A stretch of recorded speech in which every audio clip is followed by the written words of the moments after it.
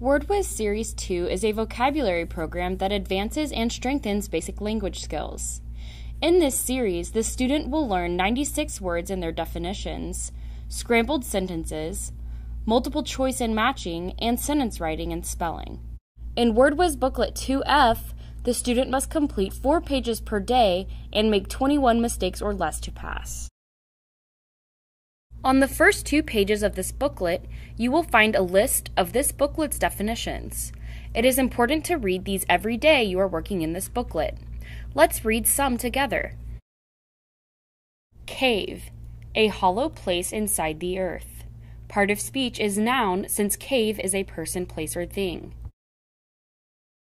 Wild, living or growing in nature, not tamed by human beings.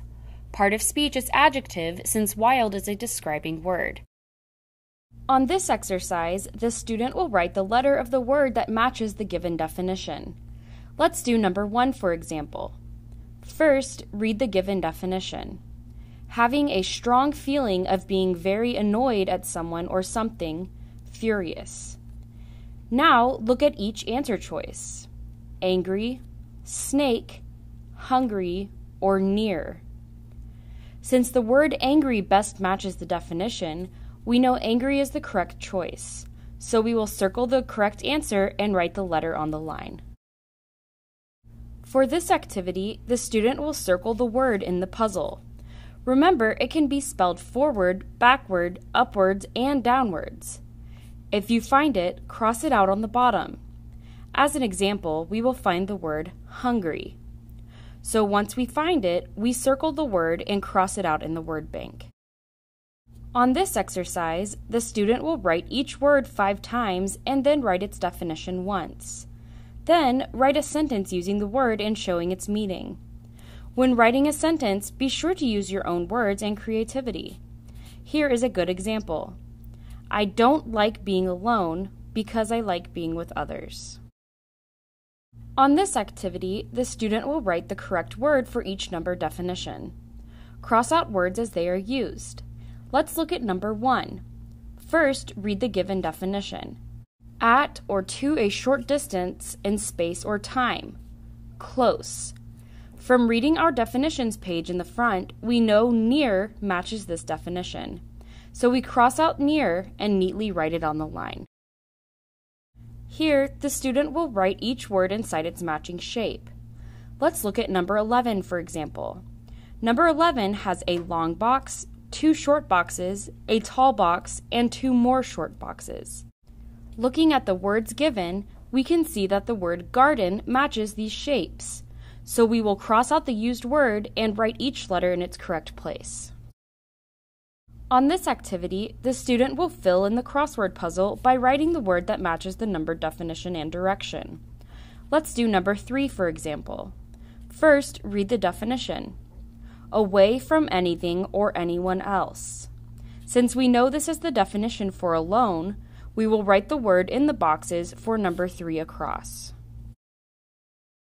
Here, the student will fill in the missing letters and spell the vocabulary word correctly. Let's do number one, for example. Since we are familiar with our vocabulary words, we know alone would be the correct word here since we are given the second and fourth letter. So we will fill in the missing letters on the space provided. On this next part of the activity, the student will put the letters in the correct order to spell the vocabulary word. We are given the scrambled letters N, E, Q, U, and E. We can refer back to the definitions page to see that these letters are in the word queen. So we will neatly write queen on the provided line. Here, the student will write the words in the parentheses into the correct spaces in each sentence. Let's look at number one, for example.